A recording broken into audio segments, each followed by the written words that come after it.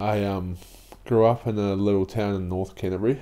Um, it's called Amberley. It's about sort of 40 to 45 minutes north of Christchurch. And um, yeah, when like when I was a kid, I think there's about a population of a thousand people. Oh, wow. Um, it's on State Highway One, so you do have to drive through there uh, if you're driving to Christchurch from further, further north.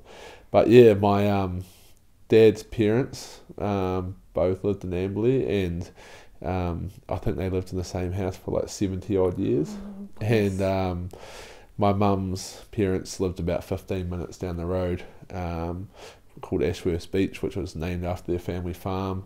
So yeah, we obviously growing up in a small town. I, I'm the middle of two, three brothers, so I'm the middle. I've got two brothers, um, and we're both well, we're three years apart. So my older brother's three years older, obviously, and younger one is three years younger. So we were always pretty competitive.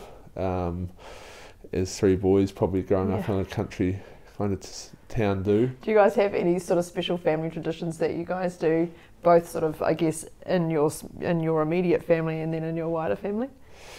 Um, we don't. Oh, not really traditions, but um, it, it might sound a little bit weird, but it's not. But so my dad and his brother married two sisters. Oh, bless. So we have like because of that we have a pretty tight family. Yeah. Um, you know it's not separated between different families. So every now, um, well, when we were younger, we always Christmas Day was just a massive Christmas dinner, and we'd have a big league game between the cousins and the brothers with opposite brothers on opposite teams. How good. Um, but now everyone's kind of a little bit older. I'm at the bottom end of the or younger side of the cousins. Um, and some of us live in the North Island and stuff, but every two years now we all go home for Christmas still. And um, with about the last five years, um, my cousins there have gone back camping where they used to as a kids at Woodend Beach. So we're going to join them this year camping down there and